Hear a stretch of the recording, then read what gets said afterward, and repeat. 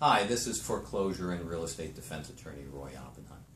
I'd like to talk today a little bit about 1099s. 1099s seem to be the bane of folks that are underwater today, trying to figure out if they're going to end up realizing some sort of phantom income if they do a short sale or a foreclosure. What, what happens with a 1099 is that if, in fact, you do a short sale, previously, if it was your primary residence, you would not be hit with loan forgiveness income. It's kind of a phantom income for money you borrowed that you're not going to pay back. And since you borrowed it and didn't pay it back, it's somewhat considered as income by the Internal Revenue Service. Well, for the past seven or eight years, as President Bush was leaving office, he passed an exemption for this loan forgiveness in income if it was your primary residence. In addition, President Obama last year with Congress extended that exemption for one year. Well, this year on January 1st, the exemption ended, people were hoping that it would continue and continue to help the short sale industry and the real and realtors and everyone associated with, with short sales, but in fact, it was not continued.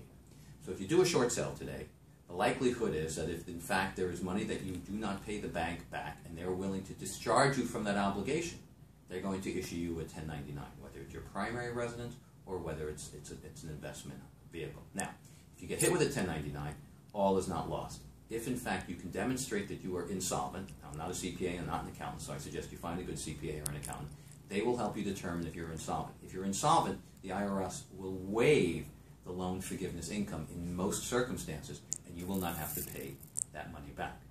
Things get more complicated, though, in a foreclosure. If you go through a foreclosure and there is, in fact, a waiver of deficiency, with that waiver of deficiency, just like a short sale, you will likely be issued a 1099. Just like with a short sale, if you do get to 1099, and if you're insolvent, you can probably get out from paying the uh, 1099 from that foreclosure. Now, what gets more interesting is if you do a foreclosure and you decide not to have the deficiency waived, or the bank chooses not to waive the deficiency, they can't issue a 1099 to you because they haven't pursued the deficiency. And because they only have one year to actually pursue the deficiency under the new law in the state of Florida, if they never pursue that deficiency at all, there's a theoretical construct that that 1099 will never be issued.